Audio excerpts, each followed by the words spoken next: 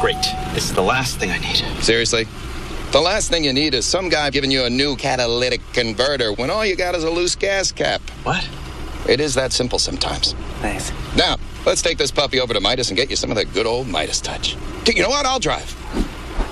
And I have no feet. I really didn't think this through. Trust the Midas touch for brakes, tires, oil, everything.